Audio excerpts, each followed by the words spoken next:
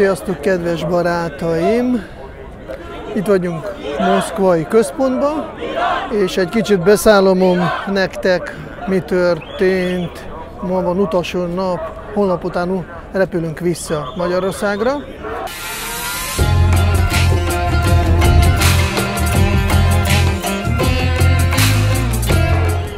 És akartam volna elmenni veletek, megmutatni vörös teret, ahol Srila Prabhupád is járt. 70-es évek elején ugye az orosz Krishna tudat itt kezdődött, Vörös téren, Moszkvába, ott ez a Kreml, ez a nagyobb uh, torony, és ez egy szép templom, majd fogtok látni képeket, de mivel bajnokság, foci bajnokság, itt látjátok ilyen bajnok emberek, focisták, vagy valami, hogy hívják ok, drukkulók mindenhol, ezért lezárták a vörös teret, itt van a mindenféle tévé, televíziók, le van zárva, azért sajnos nem tudtam belekerülni és megmutatni azokat a helyeket, hol sétált Srila Prabhupád, amikor itt volt Moszkvában.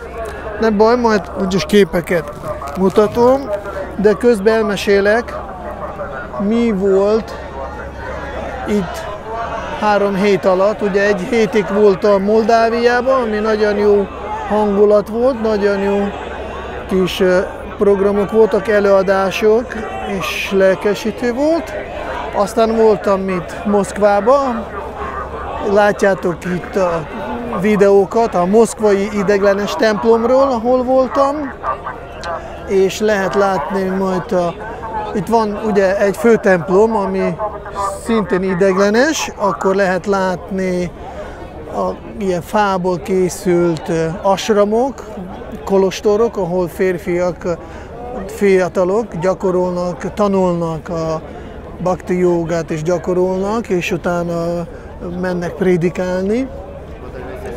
Aztán voltam itt Moszkvában, hogy egy, kettő, három, négy helyen voltak jó kis előadások, és ez egy jó hangulat volt.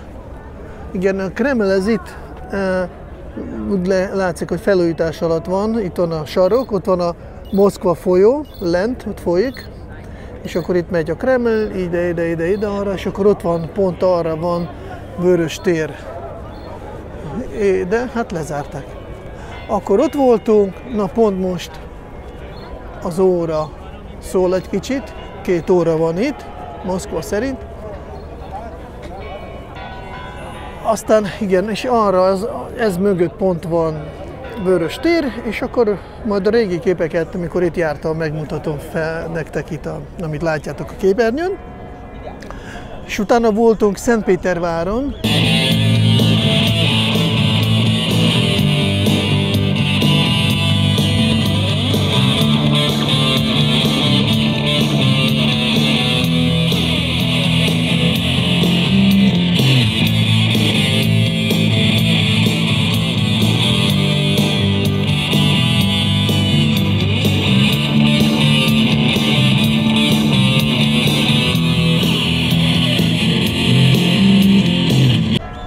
Szentpétervár és egy nagyon szép város, történelmi, ugye királynak a városa, ami nagyon jól néz ki.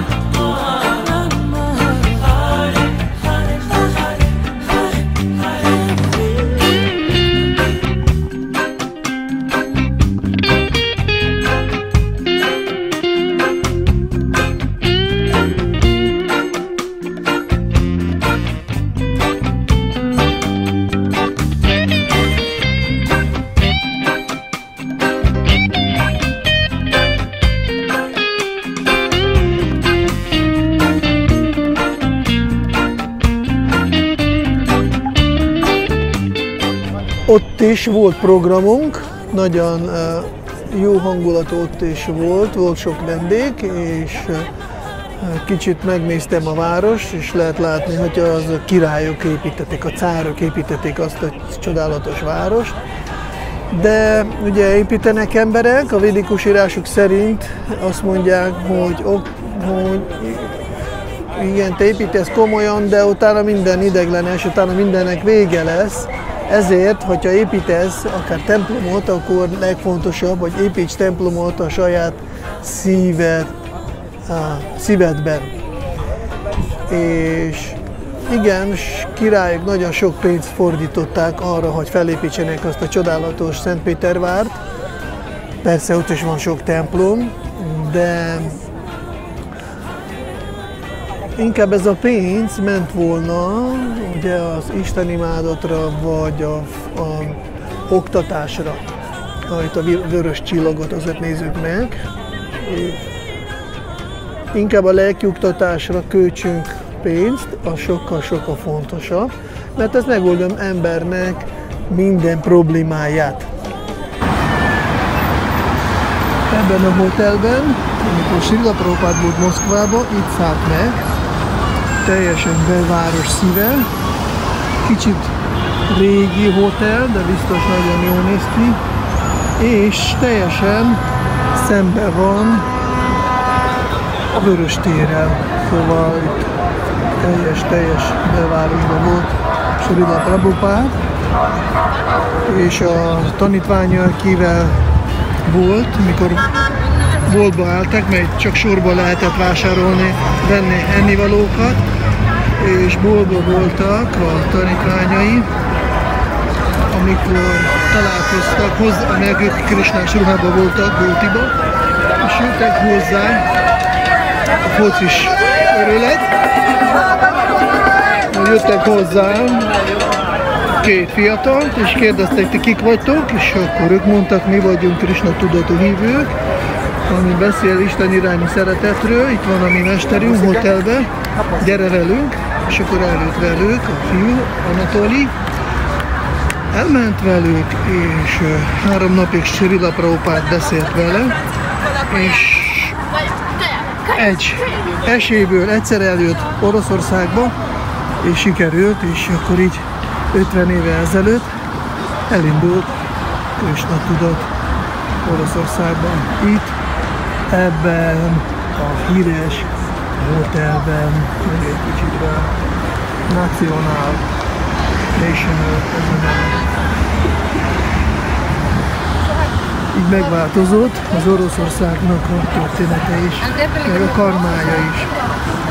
Így látjátok, akkor megjártunk Oroszországot, Moldáviát, Moszkva, Szentpétervár, és akkor most holnap után, holnap még persze van egy program, és holnap után utazunk vissza Magyarországra. Köszönöm szépen mindenkinek, remélem mindenki boldog, és Hare Krishna!